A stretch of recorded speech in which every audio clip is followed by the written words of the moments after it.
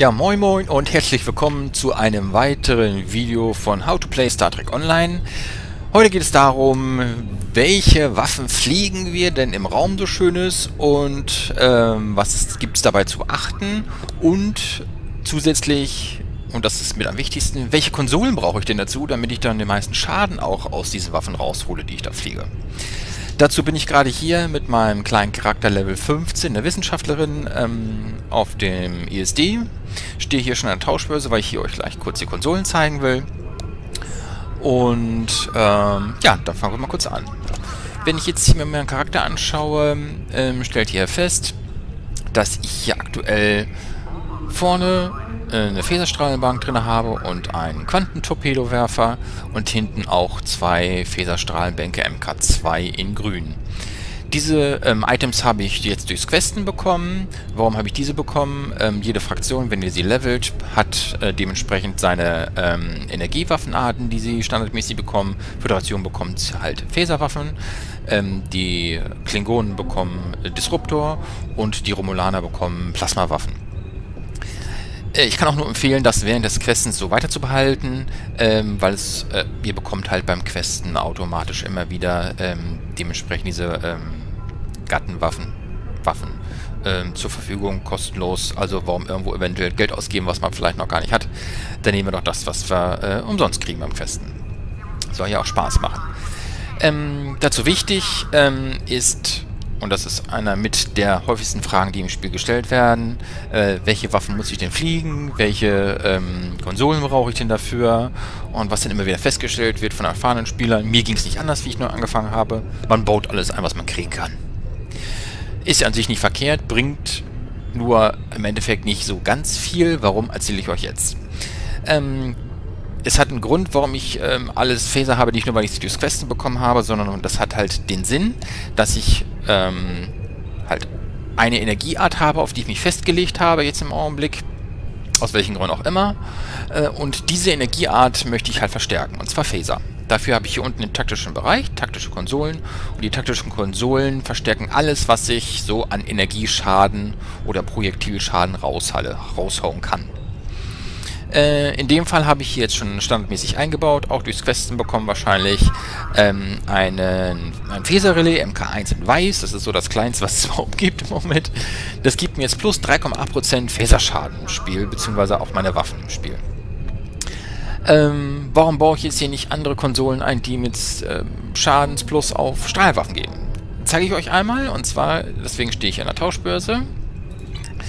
Und wenn wir jetzt hier einmal ähm, suchen nach Verstärkern für den taktischen Bereich, ähm, gibt es hier jetzt eine Konsole, die da heißt Strahlenwaffenschaden plus 15%. Ist ja schon mal nicht schlecht. Okay, das ist jetzt hier eine MK10 in grün. Ähm, aber warum sollte man die eigentlich nicht gehen nehmen, obwohl es sie auch im Laufe des Questens gibt?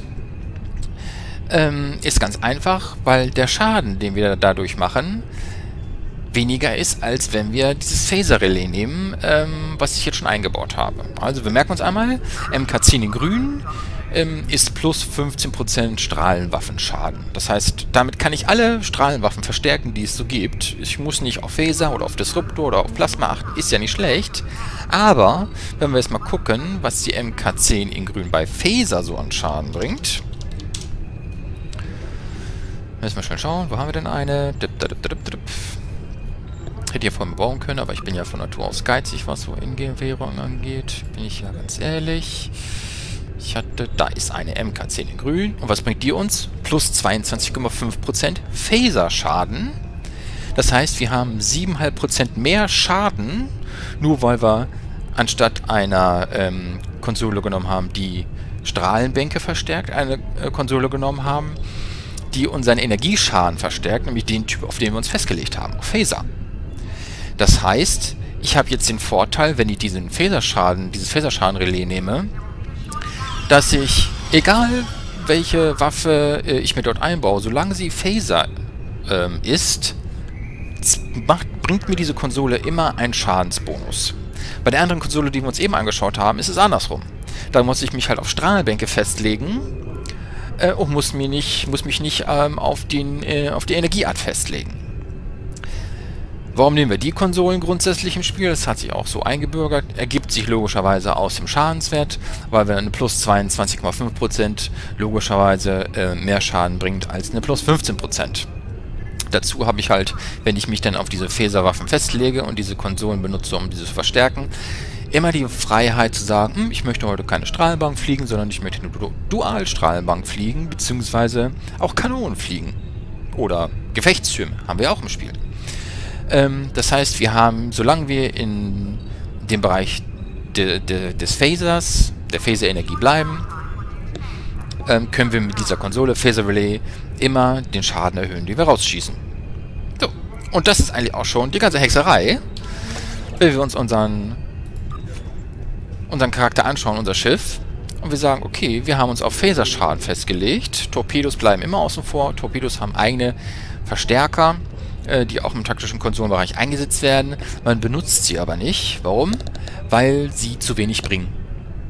Der Phaser ähm, schießt öfter, macht einen höheren, hat einen höheren Schadenswert, als wenn ich den Torpedo abfeuere. Die Zahl sieht zwar höher aus, aber wie oft kann ich diesen Torpedo abfeuern? Nämlich sehr viel äh, weniger als die Phaserwaffen selber, die Energiewaffen. Deswegen wird im Spiel eigentlich keiner, der ein bisschen Erfahrung hat, in der Regel ähm, mit einer Konsole äh, rumfliegen, die Projektilschäden erhöht. Auch hier gibt es aber, auch das zur Info, ähm, immer spezifische. Das heißt, wenn ich hier einen Quantentorpedowerfer habe, gibt es eine extra Verstärkungskonsole im Projektilbereich, die halt Quantentorpedowerfer verstärkt. Um euch das kurz zu zeigen, können wir hier in unser Crafting-System gehen, F und E, und wenn ich jetzt ähm, in der Projektilwaffen schaue, habe ich hier die Verstärker, die ich einbauen kann, oder halt hier jetzt im Moment halt äh, ja, bauen kann, wenn ich das möchte. Hier habe ich wieder alle Waffenart oder alle Energiearten, von Antiproton bis Tetrion ähm, Schaden. Und dazwischen habe ich hier einmal diesen mehrfach gelenkten Energieverteiler, den ich euch gerade im Auktionshaus gezeigt habe. Ähm, wie gesagt, er bringt uns an sich nicht wirklich viel, weil die Werte, die wir dadurch erhöhen, erhöhen können, sehr viel weniger sind, als wenn wir ähm, halt eine Konsole nehmen, die die Energieart erhöht. Das gleiche haben wir bei Kanonen auch nochmal. Und zwar, wenn wir dann hier auf Konsolen gehen, haben wir hier wieder alle unsere Energiekonsolen drin. Aber wir haben hier unten noch die Vorbrennkammer. Die Vorbrennkammer ist genau das gleiche wie der andere Verteiler. Der erhöht halt Schaden auf alle Kanonenarten. Ist aber genau der gleiche Wert wie bei Vorbrennkammer. Er ist weniger oder niedriger halt dementsprechend wie bei den Energiewerten. Also lassen wir die Finger davon, weil bringt uns nicht viel. Zur Vervollständigung einmal die Projektilkonsolen. Die haben wir hier alle. Und da ist es wieder vom Koniton bis hin zu Trikobalt, äh, Torpedowerfer. Die Konsolenverstärker gibt es dort alle. Ähm, brauchen wir auch nicht, weil der Schaden, der aus den Torpedos rauskommt, gut genug ist und wir, sehr viel wichtiger, die äh, Schadenserhöhung in den äh, Energiewaffen brauchen und nicht in den Projektilwaffen. Ja, das ist schon die ganze Hexerei im Endeffekt. Wie gesagt, achtet darauf, dass ihr immer bei einer Variante bleibt, ob es ein Phaser, Disruptor, Polaron, Tetrion äh, oder Plasma ist, ist vollkommen egal, solange ihr dieses bei einer Waffenenergieart äh, bleibt und dementsprechend immer eine passende taktische oder die taktischen Konsolen, nämlich so wie, wie immer möglich ist, einbaut, werdet ihr keine Schwierigkeiten haben, auch bis ins Endgame nicht. Im Endgame, das ist dann wieder noch ein bisschen anderer Schnack, da gibt es dann noch ganz tolle Konsolen in den Flotten, in, das sind dann die Gilden bei Star Trek Online, wo wir besondere ähm, taktische Konsolen bekommen, die noch mehr tun als nur Phaserschaden erhöhen. Das heißt, noch was zusätzlich on top. Äh, aber halt, wie gesagt, dazu später mehr. Das soll es erstmal gewesen sein. Ein kleiner Hinweis noch, wenn ihr unterwegs seid, ich kenne es von, von, mir auch selber, der Torpedo hinten ist immer ganz cool, bringt aber nicht wirklich viel, weil er nur abfeuert, wenn er ein Ziel vor der Nase hat. Also, deswegen behaltet den Torpedo immer vorne und maximal ein Torpedo. Alles andere ist wieder nur Verschwendung. Ähm, somit viel Spaß beim Spielen. Ich hoffe, es hat euch gefallen. Die kleine Lektion, welche Waffen sollte ich fliegen und welche Konsolen dazu, die taktischen.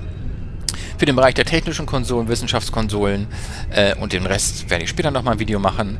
Genauso wie ähm, welcher Charakter oder welche Klasse, taktisch, technisch, Wissenschaft, sollte in der Regel welches Schiff spielen, ähm, damit es Spaß macht und vielleicht um auch ein bisschen Story zu erleben oder selbst zu spielen. So, das war es soweit. Ich bedanke mich. Ich hoffe, es hat euch gefallen. Ich konnte euch ein bisschen helfen. Es hat ein bisschen Klarheit gebracht. Ähm, bis dahin, euer Speedystream.